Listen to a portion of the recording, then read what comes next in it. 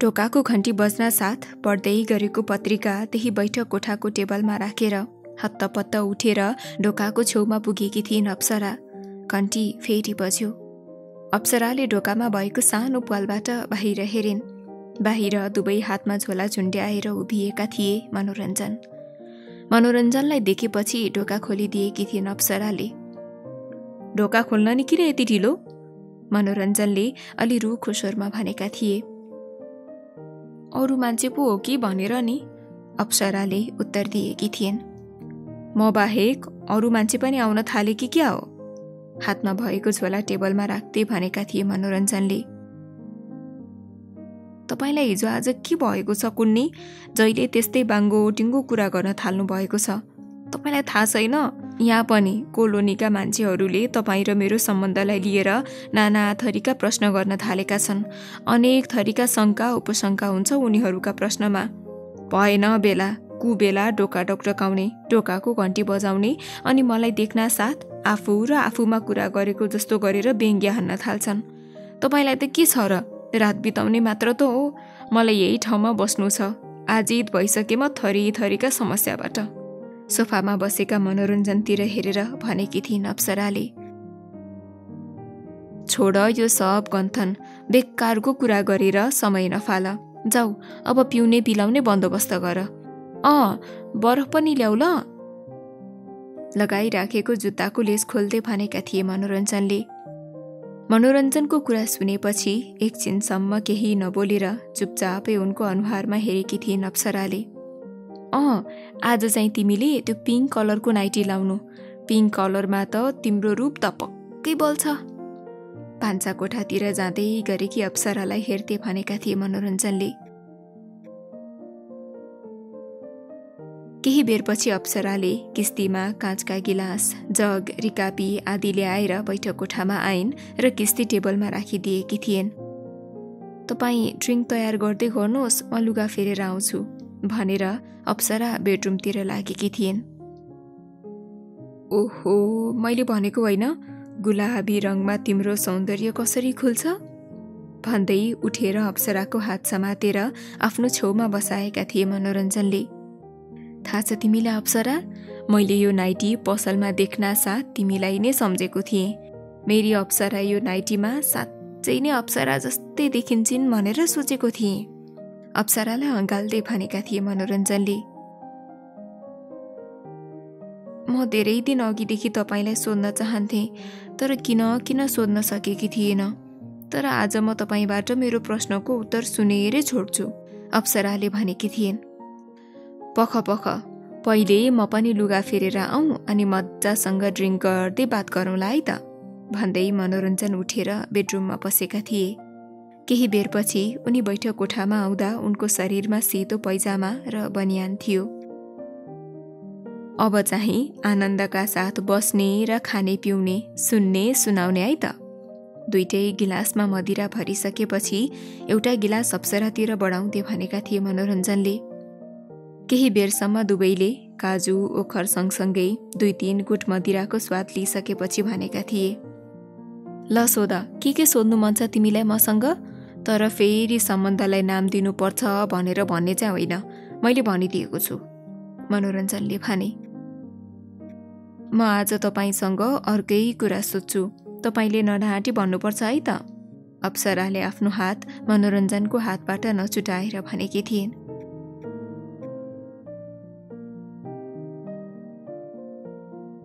उसो भए सोध न के सोध्नु मन छ? थाहा छ मलाई। कति माया गर्नुहुन्छ भन्ने त होला नि। ठिक छ सोध म उत्तर दिन तयार छु। त्यति भनेपछि अप्सराको दुवै हात चुमेका थिए मनोरञ्जनले। तपाईँ साँच्चै नै मलाई अति नै माया गर्नुहुन्छ होइन? अप्सराले सोझै मनोरञ्जनको आँखामा हेरेर प्रश्न गरेकी थिइन्। ल मैले भनेको होइन तिमी यही प्रश्न गर्छौ भनेर। अरे बाबा माया नगर्ने भए म भेट्न आउँथे त। तिमीलाई थाहा छ त खुकुरीको धारमा हिँडेको जस्तै छ यो सम्बन्ध मेरो लागि। तर मेरो निम्ति यो मदिरा भन्दा पनि मादक छौ तिमी। मलाई त यो मदिराले लट्ठ्याउँछ अप्सरालाई आफ्नो अङ्गालोमा बेर्दै भनेका थिए मनोरञ्जनले। पोख्नुहोस् मलाई प्रश्न त गर्न दिनुहोस् भन्दै अप्सराले बिस्तारै आफ्नो शरीर मनोरञ्जनको अँगालोमा ढल्काइन् र मनोरञ्जनको आँखामा हेरेर भनिन् सत्य सत्य भन्नुहोला नडाँटिकन मलाई जस्तै तपाईँले तपाईँकी श्रीमतीलाई आफ्नो अँगालोमा बेरेको बेला के उनको ठाउँमा तपाईँले मलाई देख्नुहुन्छ? कस्तो वायात प्रश्न हो यो। बेला न कुबेला। पागल भएकी छैनौ। उनी मेरी विवाहिता पत्नी हुन्। अग्निलाई साक्षी राखेर समाजको अघि स्वीकारेका हौँ हामीले एकअर्कालाई। अप्सराको प्रश्न सुन्नासाथ एकाएक आगोको लप्काले छोए जस्तो गरेर तर्सेर अप्सराको काँधबाट आफ्नो हात हटाउँदै भनेका थिए मनोरञ्जनले। मलाई थाहा थियो मेरो प्रश्नको उत्तर यही र यस्तै हुनेछ भनेर। धेरै खुसी लाग्यो। अन्तत तपाईँले सत्य बोल्नुभयो भनेर। रुन्चे हाँसो हाँस्दै भनेकी थिइन् अप्सराले। केही बेरपछि सदाको चाहिँ मनोरञ्जन र अप्सरा दुवैले सामान्य व्यवहार देखाउँदै खानपान गर्न थालेका थिए। त्यसपछि त्यो रात पनि अघि भेट हुँदा बिताएका रातहरू जस्तै मदिरा सङ्गीत वरिष्ठ खानकी अनि एकअर्कामा लिप्त भएर बिताएका थिए मनोरञ्जन र अप्सराले। अर्को दिन एका बिहानै मनोरञ्जन भ्युजिँदा अप्सरा मस्तसँग निदाइरहेकी थिइन्। केही बेरपछि ऊ हातमुख धोएर लुगा फेरि ओरी तयार हुँदासम्म पनि अप्सरा सुति नै रहेकी थिइन्। गुड बाई कोठाबाट निस्कन अघि मनोरञ्जनले अप्सराको गालामा बिस्तारै थपथपाएर गएका थिए। त्यसपछि करिब पन्ध्र दिनसम्मका लागि मनोरञ्जन अफिसियल कामले गर्दा ब्याङ्कक जानु परेको थियो। अप्सरासँग छुट्टिएको अठारौँ दिनमा साँझ ढल्केपछि मनोरञ्जन पुगेका थिए अप्सरा बस्ने अपार्टमेन्टमा। त्यहाँ पुगेपछि उनले ढोकाको घन्टी बजाए तर निकै बेर हुँदासम्म पनि ढोका खुलेन। केही बेर कुरेपछि उनले खल्तीबाट आफूसँग भएको डुप्लिकेट साँचो निकालेर ढोका खोलेर भित्र पसे र फेरि भित्रबाट ढोका बन्द गरे। कोठा चकमन्न थियो। मनोरञ्जनले बिस्तारै अप्सरा अप्सरा भनेर बोलाए तर अह कतैबाट केही आवाज आएन। उनी अघि बढे र बेडरुम बाथरुम किचन र स्टोर सबै रुम हेरे। अप्सरा कतै पनि थिएनन्। केही सोचेपछि मनोरञ्जन फेरि बेडरुममा पसे र त्यहाँ भएको लुगा राख्ने गरेको दराजनेर गए र बिस्तारै ढोका ताने। ढोका खुल्लै रहेछ खुल्यो तर त्यहाँ पहिलाको चाहिँ टन्ने लुगा थिएन। ह्याङ्गरमा केही लुगा झुन्ड्याइएका थिए भने दराजको ताकमा केही लुगाहरू असरल अवस्थामा थिए।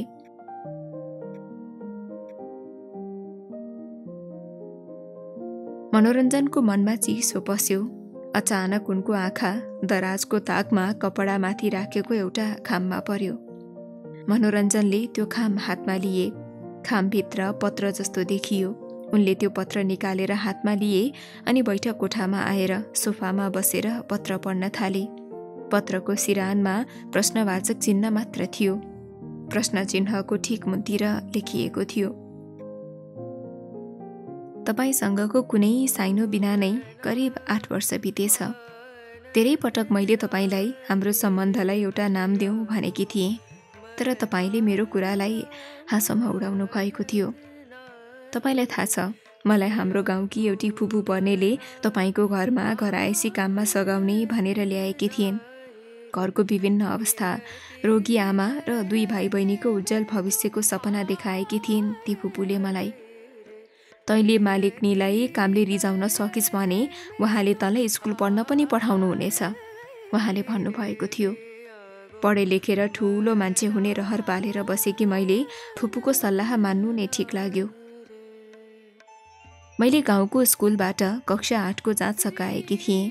त्यसपछि म यहाँ आएर तपाईँहरू कहाँ काम गर्न थालेँ। भर्खर पन्ध्र वर्ष पुगेर सोह्र वर्षकी किशोरी मिठो खाउँ राम्रो लाउँ भन्ने मन।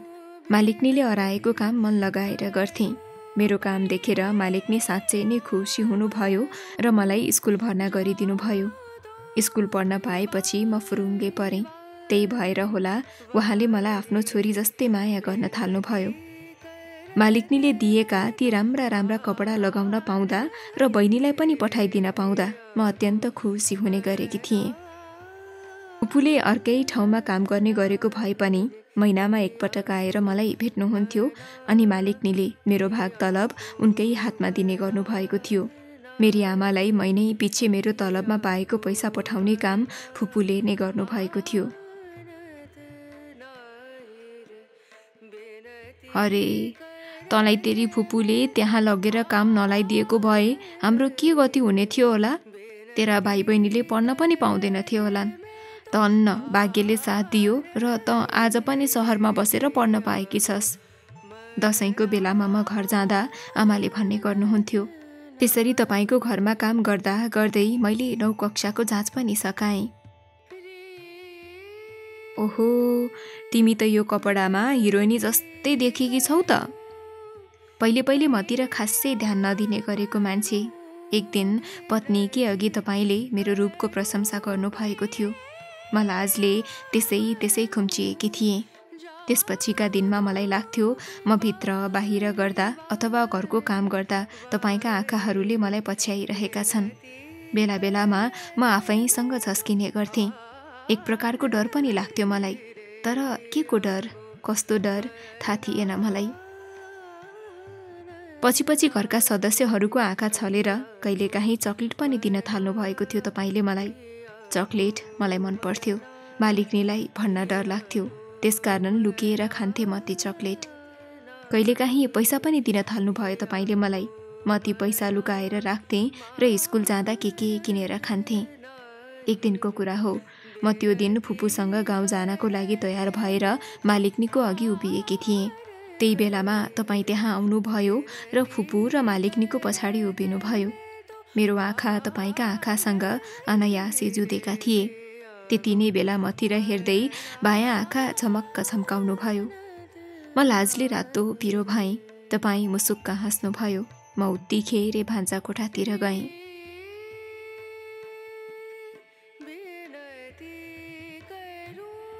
त्यसपछिका दिनमा बढीभन्दा बढी मेरो नजिक देख्न थालेकी थिएँ तपाईँलाई।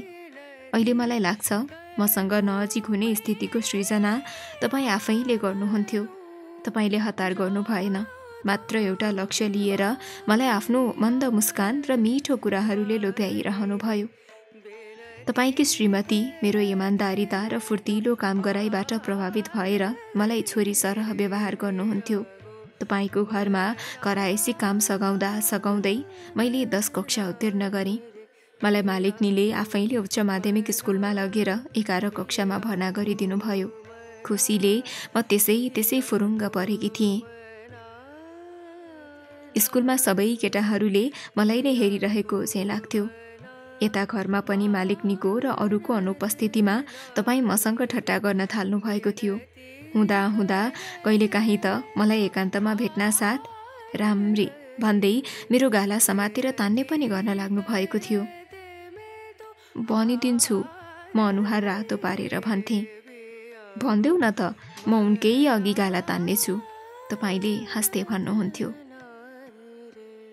अहिले लाग्छ मैले साँच्चै नै त्यति बेला तपाईँले मलाई जिस्काउँदा प्रयोग गरेका शब्दहरू तपाईँले मेरो गाला तानेको कुरो सबै भनिदिनु पर्ने रहेछ। तर किन किन म चुप रहेँ। दिन बितिरहेको थियो। पढाइमा म ठिकठाकै थिएँ। फेल कहिले भइन तपाईँकी एउटी छोरी र छोरो कलेज पढ्दै गर्दा म बाह्रमा पढ्दै थिएँ। तपाईँ प्रायजसो कार्यालयको कामले दस पन्ध्र दिनका लागि अर्को जिल्लामा जानुहुन्थ्यो र घर फर्किँदा आफ्ना छोराछोरीका लागि नयाँ खेल्ने खेलौना र थरी थरीका चक्लेट ल्याइदिनुहुन्थ्यो। त्यो देख्दा म गाउँमा पढ्दै गरेका मेरा भाइ र बहिनीलाई सम्झिन्थेँ। मन त्यसै त्यसै अमिलिएर आउँथ्यो। म राति तपाईँकी छोरी सुत्ने कोठाको एउटा कुनामा ओछ्यान लगाएर सुत्ने गरेकी थिएँ।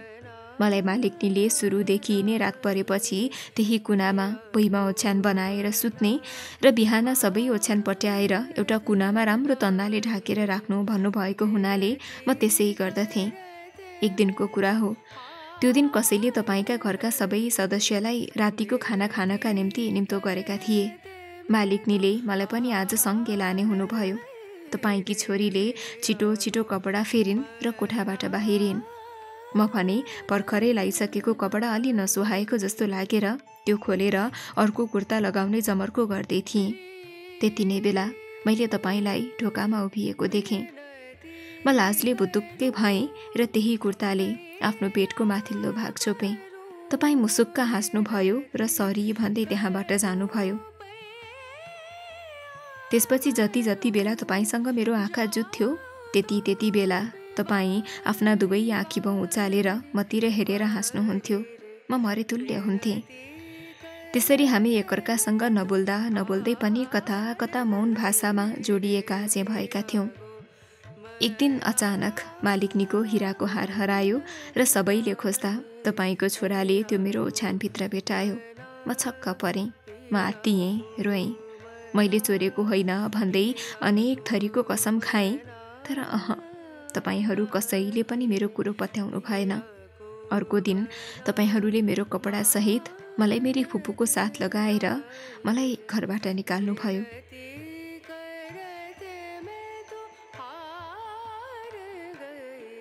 हेर त्यस्ता मनकाहारी मान्छेको घरमा काम गरेर तैँले आफू मात्र पढ्ने होइन। तेरा भाइ बहिनीलाई समेत पढाउन पाएकी थिइस्। तेरो पोइ मरेको विधवा आमाको रोगको उपचारको खर्च समेत पाएकी थिइस् तर आज तेरो मूर्खताले र लोभले गर्दा छँदा खाँदाको जागिर गयो। यस्तै भन्दै फुपूले बेसरी हकार्नु भयो मलाई। मैले फुपूलाई पनि आफू निर्दोष रहेको कुरो भने तर उहाँले पनि पत्याउनु भएन म हताश भएकी थिएँ। तपाईँको घर छोडेको दोस्रो दिन बेलुका चमक्क साँझ परेपछि तपाईँ हामी बसेको डेरामा आउनुभएको थियो। तपाईँले मेरी फुपूसँग धेरै बेरसम्म कुरो गर्नुभयो। मलाई तपाईँको अघि बस्न लाज लागेको हुनाले म भित्र अघिनो भएको ठाउँमा गएर चुपचाप बसिरहेकी थिएँ। तन्न मालिकको मन कमलो रहेछ। उहाँले तँलाई होस्टेलमा राखेर बाह्र कक्षासम्म पुरा पढाइदिने भन्नुभएको छ। त्यही भएर भोलि तँ र म मालिकसँगै गएर तँलाई होस्टेलमा राख्ने अरे। तेरो स्कुलमा पढ्ने अरू केटीहरू पनि बस्छन् अरे त्यही होस्टेलमा। तपाईँ गएपछि फुपूले मसँग भन्नुभएको थियो। अनि घरमा आमालाई भन्नु पर्यो नि मैले भनेकी थिएँ। मालिकले भन्नुभएको अहिले हामीले घरमा केही नभन्ने अरे। तेरी आमालाई बित्थैमा किन पिरमाथि पिर थपिदिने? तैँले बाह्र कक्षाको जाँच दिएपछि उहाँले तेरो लागि एउटा सानोतिनो जागिर खोजिदिउँला पनि भन्नुभएको छ। मान्छे त साँच्चै देउता जस्ता रहेछन्। त्यस्ताका घरमा तँ टिक्न सकिनस्। फुपूले सहज रूपमा भन्नुभएको थियो। त्यसपछि म सात महिना जति होस्टेलमा बसेर पढेँ परीक्षा पनि राम्रो भयो। त्यो छ महिनाको अवधिभित्रमा तपाईँले पटक पटक मलाई भेट्नुभयो। मलाई खानेकुरा कपडा र पैसा दिने गर्नुभयो र कहिलेकाहीँ मलाई आफ्नो गाडीमा राखेर सहरदेखि टाढा डुलाउन पनि लग्नुभयो। तर हामी बिच हिराको हारबारे कहिल्यै कुनै कुरा भएन। सत्य भन्ने हो भने म सहरमा बसेर आफ्नो पढाइलाई निरन्तरता दिन चाहन्थेँ। त्यसको केही दिनपछि फुपूले डेरा छोडेर गाउँ जानु अगावै तपाईँले मलाई सहरदेखि निकै टाढा भएको एउटा नवज्ञ निर्मित अग्लो अपार्टमेन्टको एउटा फ्ल्याटमा लिएर जानुभयो। त्यहाँ पुगेपछि तपाईँले कोठाको साँचो मेरो हातमा राखिदिएर भन्नुभएको थियो लाउ यो साँचो आजबाट यो घर तिम्रो भयो। यहाँ मैले तिमीलाई आवश्यक पर्ने सारा सामानहरूको बन्दोबस्त गरिदिएको छु। मनभित्रको खुसीलाई सञ्चित गर्दै मैले ढोका खोलेँ र भित्र पसेँ अनि कोठाभित्रको सुन्दर सजावट र कलात्मक सरसामानहरू हेर्दै सबै कोठाहरू चाहारेँ। ओहो म कति खुसी भएकी थिएँ त्यसबेला। त्यो बयान गर्ने शब्द छैनन् मसँग। बस खुसीले छछल्किएका आँखा लिएर थ्याङ्क यू भन्दै मैले तपाईँलाई अँगालो मारेकी थिएँ।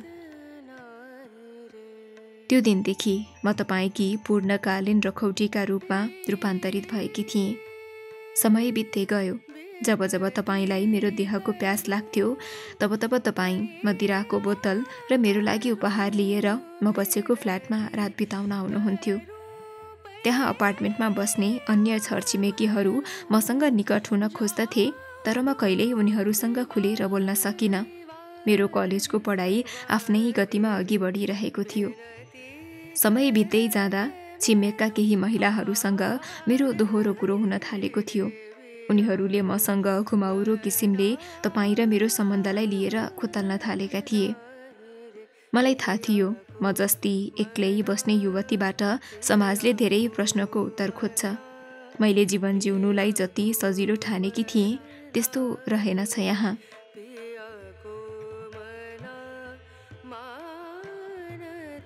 मेरा छिमेकी पुरुषहरूको मायाको दृष्टिले मलाई कसरी खेदिरहेका छन्? कतिले त मलाई एकान्तमा देख्न साथ बडो निर्लजतापूर्वक अश्लील सङ्केत गरेर घिनलाग्दो प्रस्ताव राख्न समेत पछि पर्दैनथे। जब म अत्यन्त दुखी र हताश भएर आफूमाथि भएका ती सम्पूर्ण कुराहरू भन्दथेँ त्यति बेला तपाईँले मेरा गुनासाहरूलाई वास्तै नगरेर हाँसोमा उडाउनुहुन्थ्यो।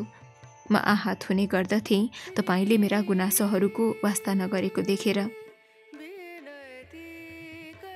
सत्य भन्ने हो भने म भित्र कता कता तपाईँप्रतिको घृणाको भाव जाग्न थालेको थियो। म मनमा नै तपाईँको व्यवहारबाट विरक्ति हिँड्दै थिएँ। मलाई अझै पनि याद छ त्यो दिन। त्यो क्षण जब मैले प्रथम पटक आँखाभरि आँसु भरेर भनेकी थिएँ। कति दिन कति समयसम्म तपाईँको यो अनैतिक सम्बन्ध लिएर म बाँचिरहँ? अब त हामीले हाम्रो सम्बन्धलाई एउटा औपचारिक नाम दिनुपर्छ। मानिसहरूले मलाई सौतामाथि गएकी आइमाई भनेर लान्छना लगाए तापनि मेरो सन्तानले पिताको नाम पाउनेछ। पागल नबन बहुलाई भयो कि क्या हो? जे छ त्यसैमा रमाएर बस्न सिक। सब थोक त पुगेको छ नि तिमीलाई। हाम्रो सम्बन्धको नाम किन चाहियो तिमीलाई? तपाईँले भन्नुभएको थियो। हो त्यो दिन त्यही क्षण तपाईँका शब्दहरूले मलाई मेरो दयनीय स्थितिको बोध गराएको थियो। मैले स्पष्ट रूपले आफू उभिएको धरातल अनुभव गरेकी थिएँ। एउटा विधवा नारीले जसो तसो दुःख गरेर घर चलाएको परिवेशमा हुर्किएकी थिएँ म।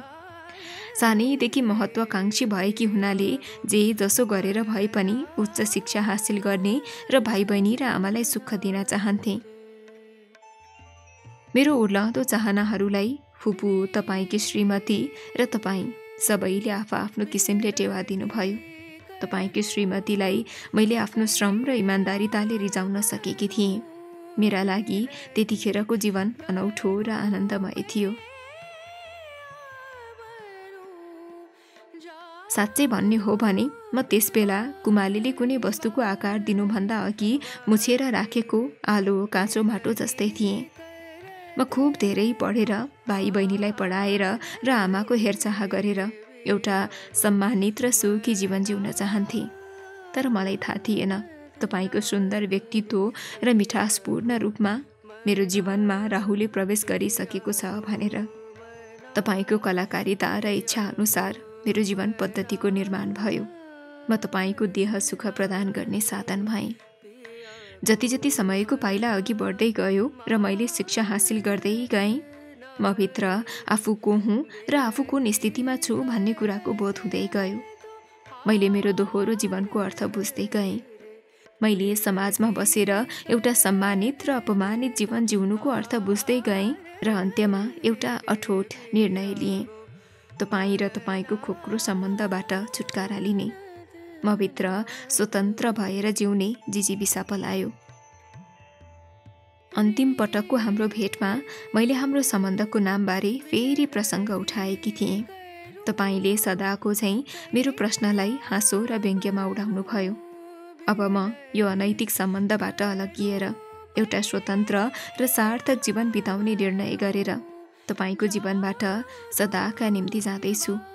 मेरो आफ्नो विगत जीवनप्रति मलाई किन्चित मात्र पनि घृणा छैन न त म आत्महत्या नै गर्नेछु। म यहीँ यसै समाजमा बसेर मेरा सारा सपना पुरा गर्नेछु।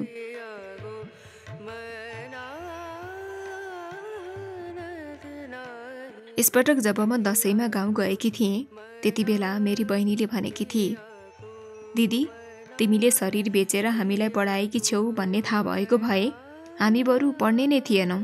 तिमीले गर्दा गाउँमा सबैले हामीलाई कति वचन लगाउँछन्। त्यो तिमीलाई के थाहा?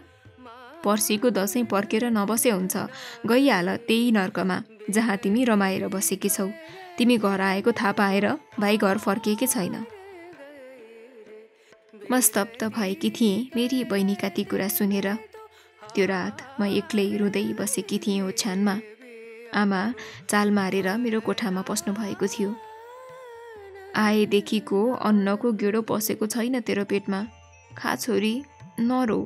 भोलि बिहान भाइ आउनुभन्दा अघि गइहाले यहाँबाट। यति भन्दै मेरो अघि भात राखेको थाल राखिदिनु भएको थियो।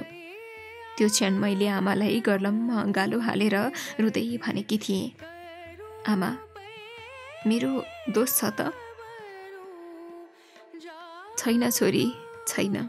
तेरो दोष छैन। यो हाम्रो कर्मको दोष हो। म पनि तसँगै जाने थिएँ। तर बोल्दा बोल्दै आमाको स्वर अवरुद्ध भएको थियो। त्यसपछि त्यो रात हामी आमा छोरीले एकअर्काको अङ्गालोमा रहेर आँसु बगाएका थियौँ। मलाई थाहा छ रातको अन्धकारमा तपाईँले मलाई खोज्दै म कहाँ आउने गरेको भए तापनि दिनको उज्यालोमा तपाईँ मेरो सामु आफ्नो असली रूप देखाउने सामर्थ्य राख्नुहुन्न। तपाईँमा सत्यसँग सामना गर्ने हिम्मत छैन। म आज यसै क्षण तपाईँसँग जोडिएको एउटा घृणास्पद बेनामी सम्बन्धको दृश्यलाई यही अन्त्य गर्दैछु। अप्सरा। मनोरञ्जन एकहोरो अप्सराले लेखेका ती शब्दहरू पढिरहन्छन्।